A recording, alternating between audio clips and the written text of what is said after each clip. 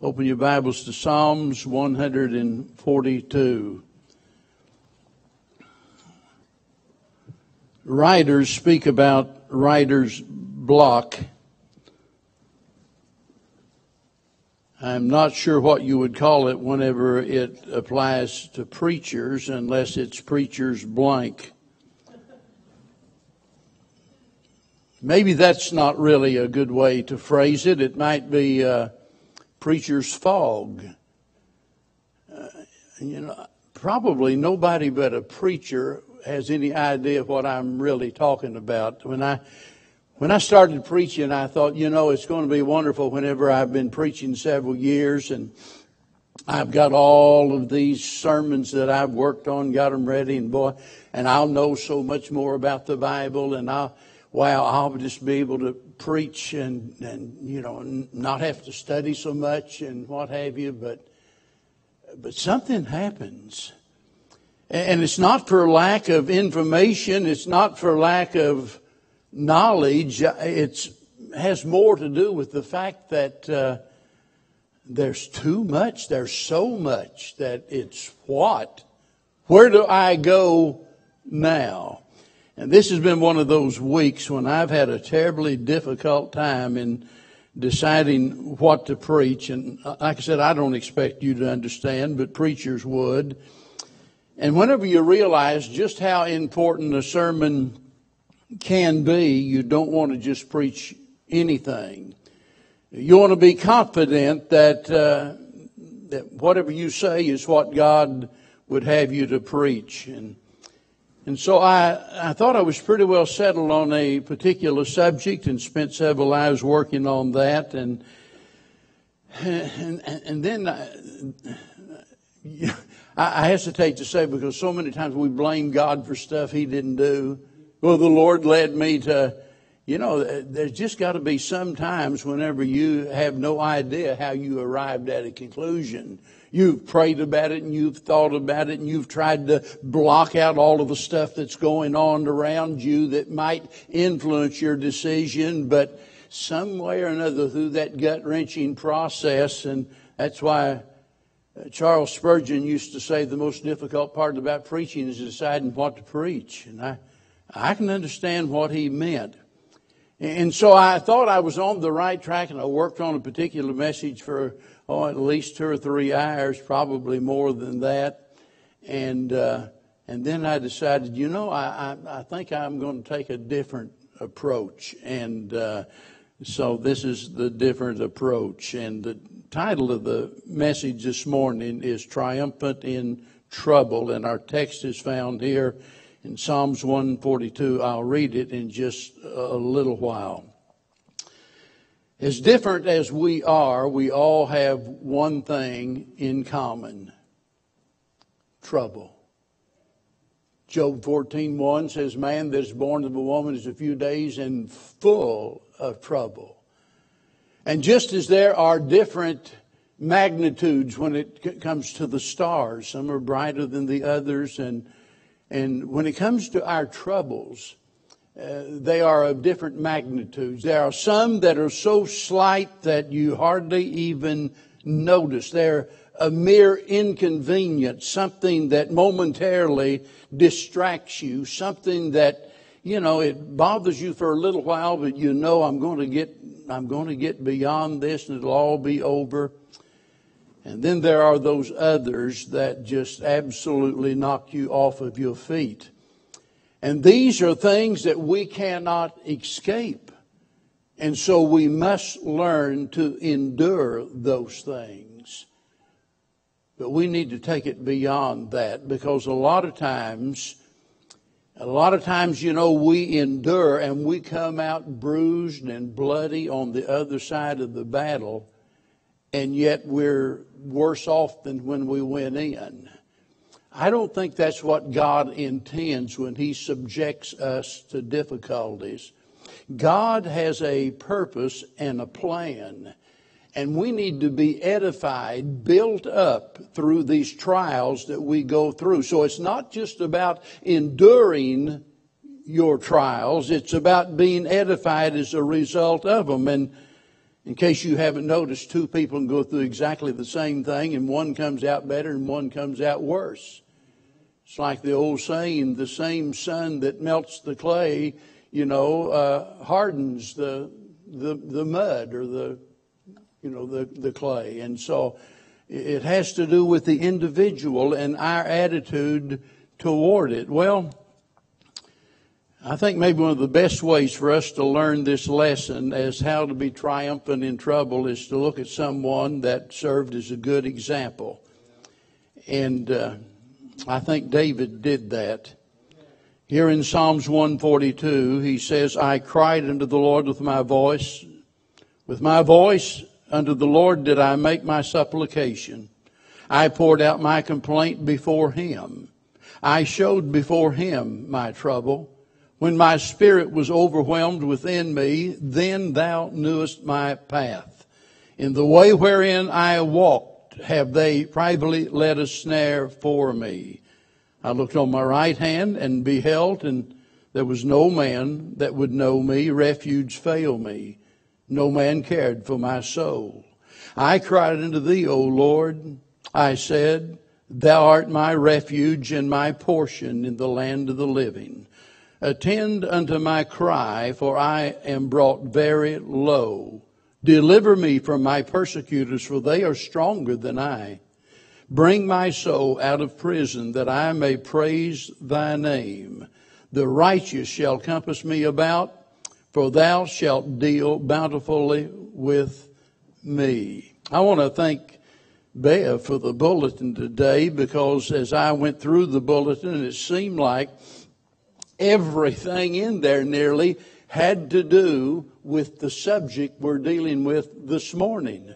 And uh, she didn't. She didn't come and ask. Well, uh, what's the title of your message? What are you preaching about? So I can fix the bulletin to match it. It just it just worked out that way. You know, just might be God had something to do with that. Amen. I mean, He works on both ends of the spectrum. You see. And so we're talking this morning about how to be triumphant in trouble. The famous preacher in London many years ago, Joseph Parker, made a statement. He said, uh, if a preacher uh, uh, would preach to broken-hearted people, he said, no preacher would ever lack a congregation if he preached to troubled hearts. Now, I don't know that that's 100% correct or not, but I do know that everybody has troubles, and everybody needs God's word and God's help in their time of need. Now, we're thinking about David, of course, here in this case, and here was a man that was after God's own heart. He was a great man, a man that, that God had anointed for a very special work to do while here upon this earth. And mark it down, if David was not exempt, neither should we expect to be exempt from these difficulties. And as we look at this, uh, this message here, we learn several valuable lessons from it. The first thing our attention is focused on is his trouble. That's obvious. And here is a, a prayer. If you go back to the very beginning, you'll notice the prayer of David while he was in a cave. Now that's evidently in reference to the trouble that he had with Saul. And, and Saul was trying to kill him. David is hiding in the cave here. I mean, everything at this point seems to be up in the air. Uh, Saul was the king, a man who stood head and shoulders above everybody else, a man who was the king of the nation, and and now here he has dropped all of his business. Think about that. He has just totally ignored all the other kingdom business, as it were, trying to take out little David. He wants to get rid of him. And David, not being one that would fight back against God's anointed, David is hiding, trying to avoid the whole situation, and Saul is after him. Now, he doesn't give us any of the details here, and, and that really doesn't matter. Uh, it's just the fact that here is David in a time of trouble. And I want you to notice that his trouble was severe. As I said earlier, sometimes our trouble is of such a, a, magnitude that it's not all that great. It's something that, you know, that we can just walk right on through, something that presents no great difficulty. But this is something that is severe. And, and notice how in verse 3 that he describes his trouble. He says here that he is overwhelmed. That word overwhelmed means to be wrapped about. It's talking about someone that is wrapped about, as it were, in smoke. I mean, they're smothered on every side. That's the idea that there's nowhere I can turn. I can't go forward. I can't go back. I can't go right, left. I can't go in any direction to get out of this trouble. I am in it and there's no way out. And then in verse 6, notice he says that I was brought very low. Now keep in mind, this is David, the hero. This is David that, you know, that God had anointed. This is David that, you know, was the giant killer. And here he is saying that he was brought very low. Here is a man that could kill a giant, but at this point, although he could kill a giant, he really, at this point, couldn't keep himself up. And I don't care who you are, how strong you are, how many years you've been saved, how spiritual you think you are. There just might come a time when you will find yourself in a pit of depression You'll find yourself in a place in life to where it seems like that there's no way out and it seems like there's no way that you're going to be able to get up and to go on and to move ahead. And at this moment, now this, look, this wasn't the norm, but we all at times act out of character when the pressure is on and the pressure is on. His life is in jeopardy. And he said, I was brought low. I am overwhelmed. Now, to complicate all of this, notice in verse 3, notice the word they. They. They had laid a snare. His enemies had uh, laid a snare, and he calls them persecutors in verse number 6.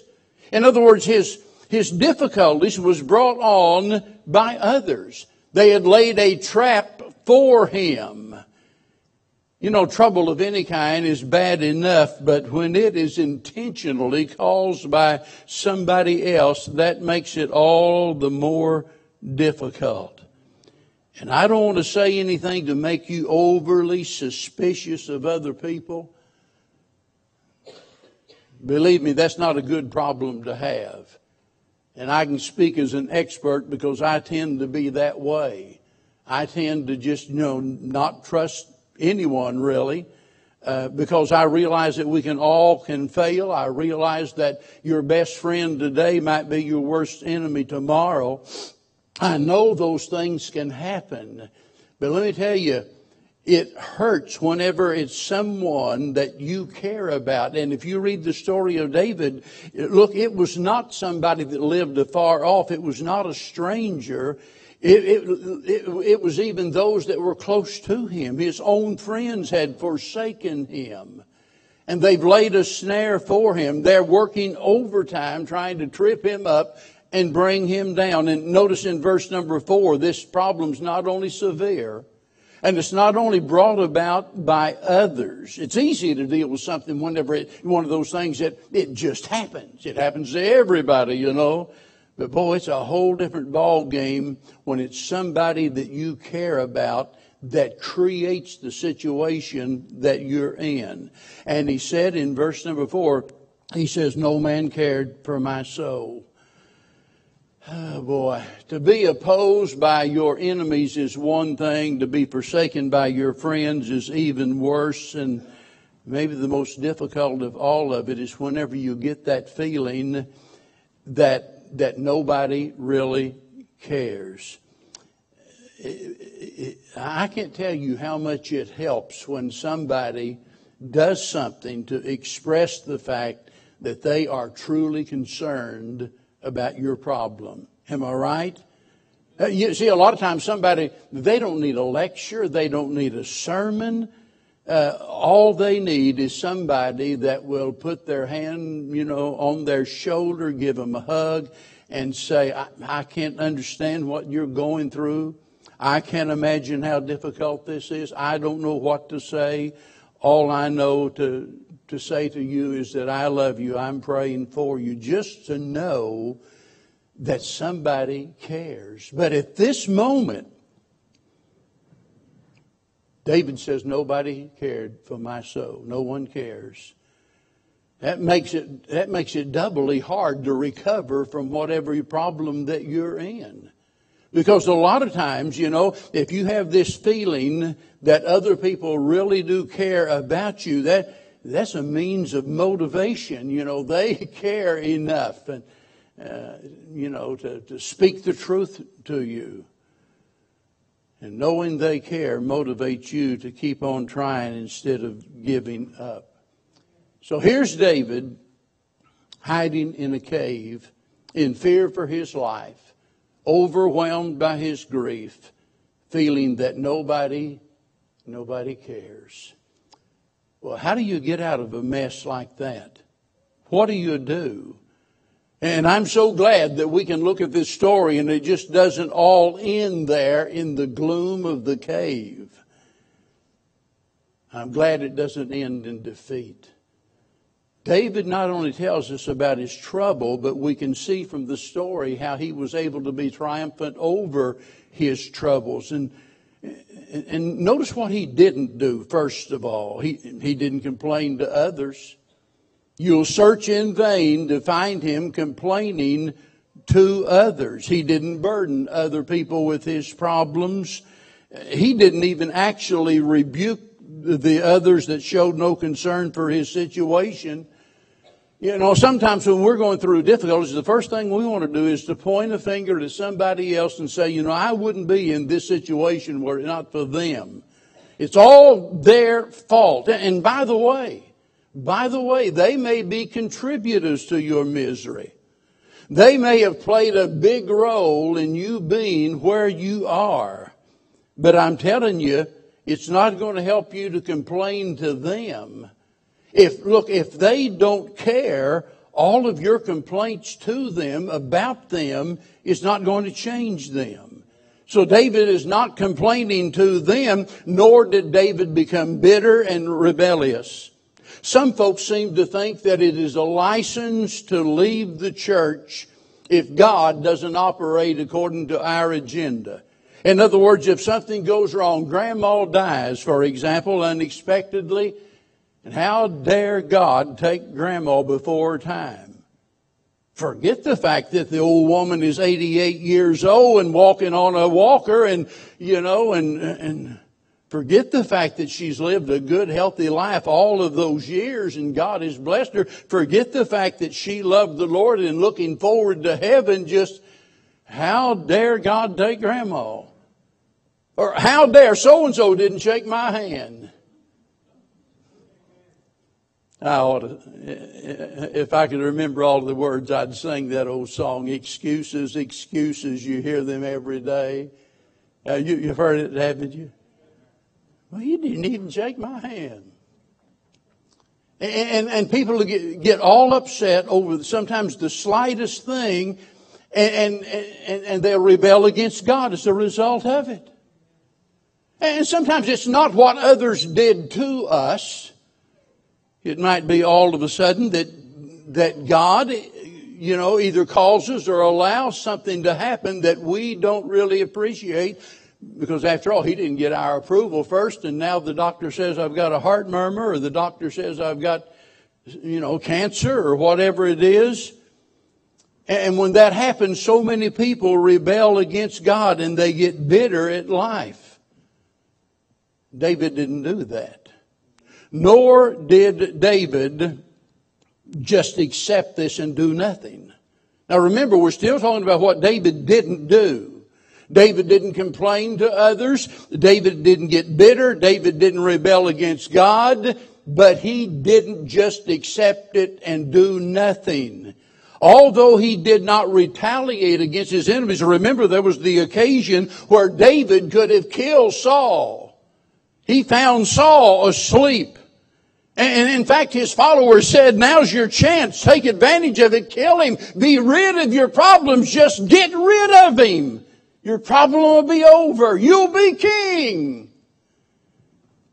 Well, David knew better than to run ahead of God and to touch the Lord's anointed, and he left it all in God's hands. So he didn't retaliate against his enemies, But he didn't just sit back and leave everything to fate. He took positive steps in order to solve this problem. Notice what he did, verse 1 and 2.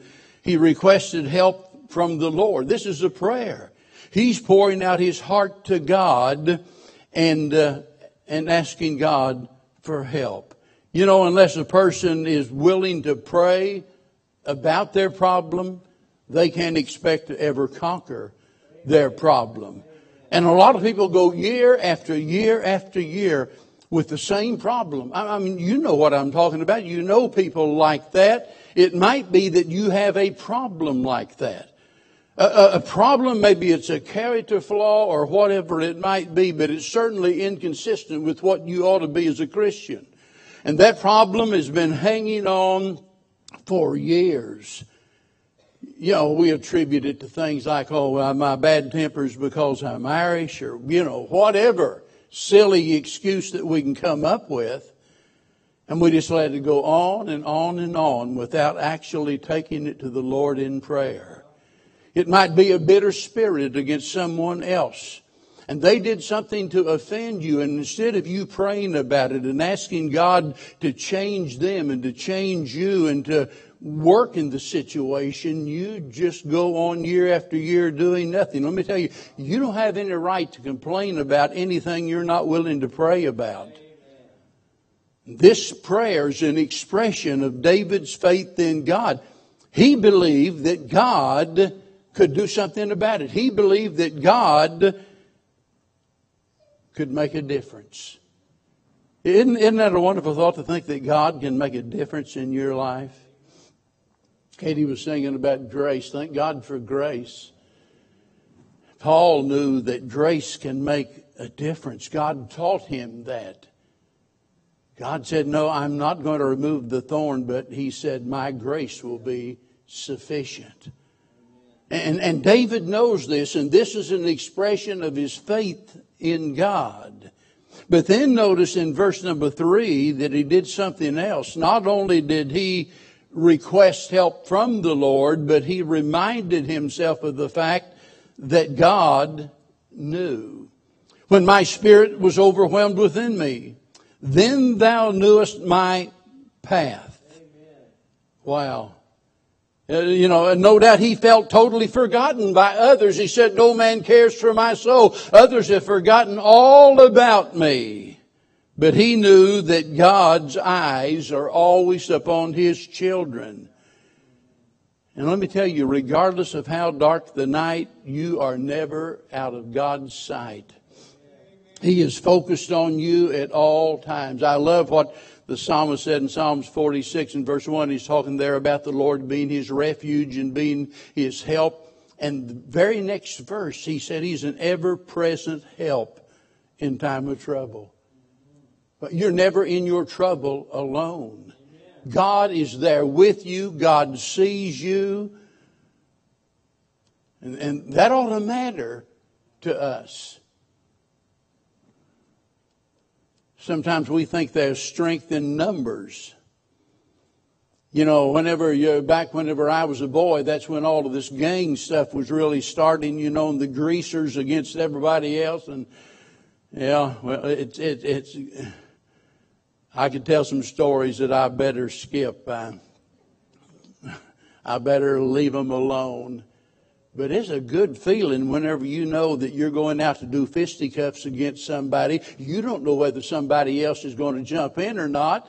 And so the thing of it is, you bring two or three of your buddies along with you, you know, to back you up.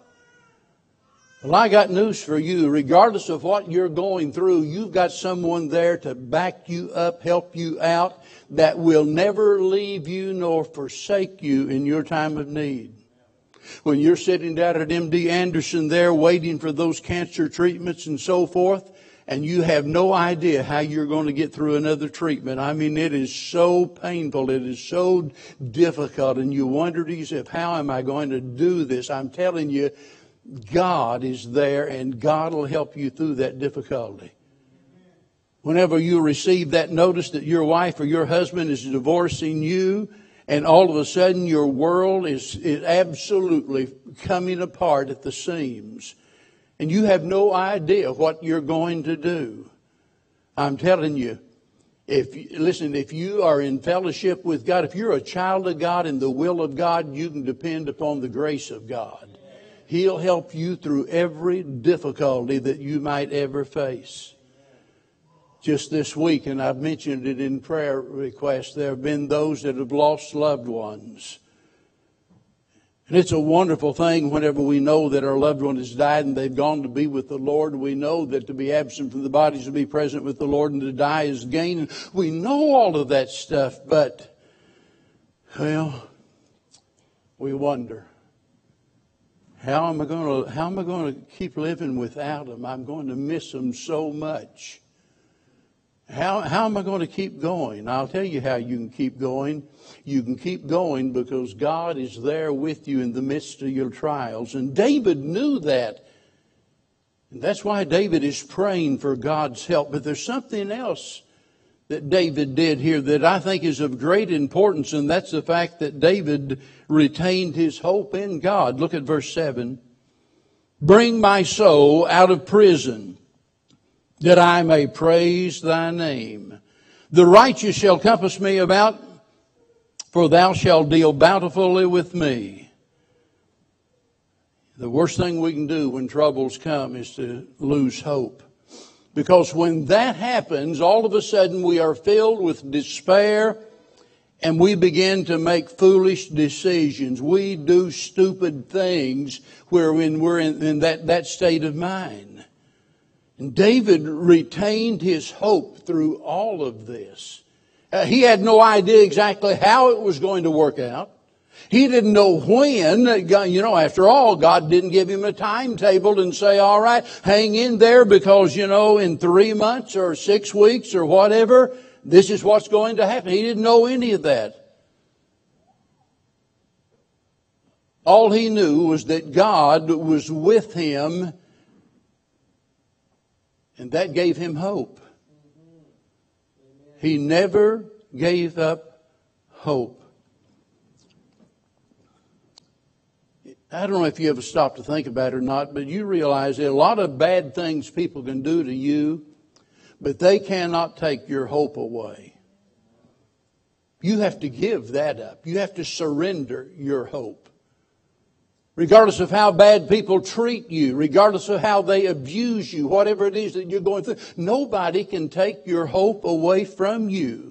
That's why we can never blame others for our problems. Well, you know, if it wasn't for what they did, if they'd get with the program, if they would act right, if they'd love me more, if they'd do this and they'd do that, then I could be happy. Well, why can't you be happy anyway? Aren't you but a sinner saved by grace? Hasn't God been good to you? Isn't that reason to rejoice in the Lord always, as the Bible says? No, the problem is not with the other person. The problem is, is you have surrendered your hope. You've thrown in the towel. You've given up on it. I'm telling you, happiness is a choice that we make.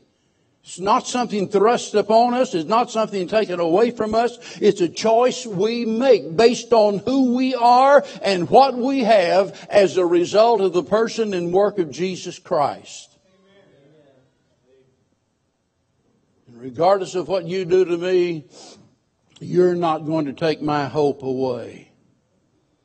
Charles Spurgeon wrote, he said, the gloom of the cave is over the psalm, and yet as if standing at the mouth of the cave itself, the prophet poet David sees a bright light a little beyond. A bright light a little beyond. That's that glimmer of hope that he had, that he refused to give up. Now, there's something really important. Listen carefully to what I say. Notice as he is praying to the Lord, expressing his faith in God, expressing his hope of the Lord, he says in verse 7, in the first part of it, Bring my soul out of prison. Notice that I may praise thy name. That I may praise thy name. I don't think that meant that he wouldn't if God didn't. I don't think that's the point. No, I think David was going to praise the Lord regardless of the circumstances. I think the whole idea here is, Lord, bring me out in the presence of mine enemies. Let them see what a good and great God you are. Deliver me that I might praise thy name. There's so many times whenever we are overwhelmed with trouble in our life and we pray, we want God to bring us out. We want God to heal us. We want God to spare our life. My question is, why? What right do we have to ask God to heal us and to keep us alive and to solve our problems? What right do we have to do that?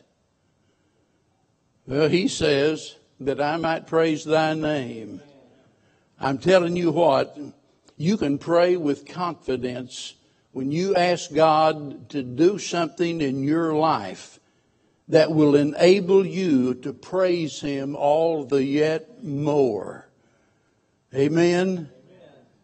And that brings us to David's testimony. I don't think I need to, I don't think I need to even hardly say anything about that.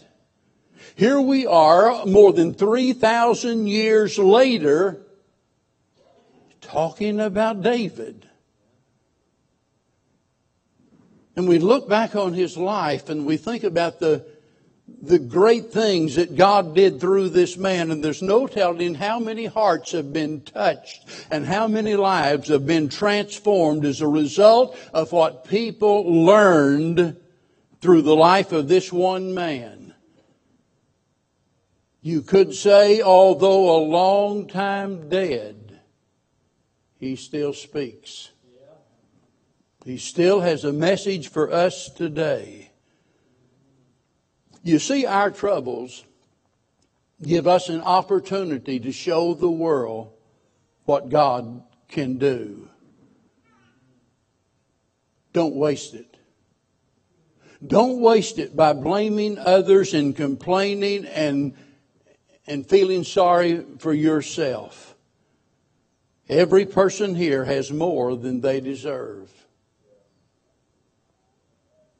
If we don't deserve anything, we have no right to complain about anything.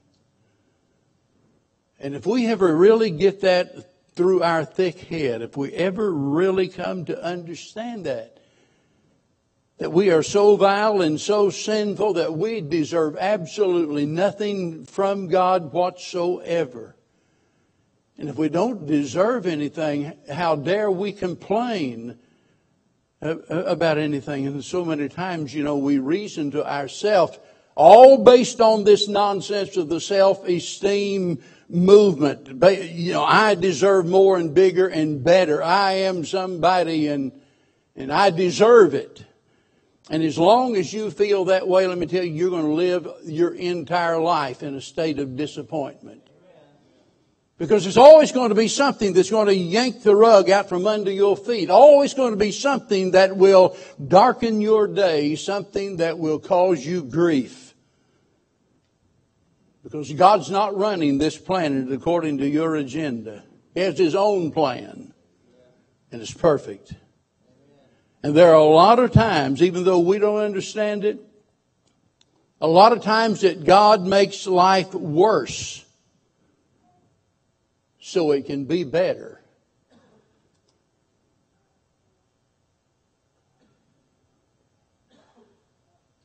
And that makes the bad good.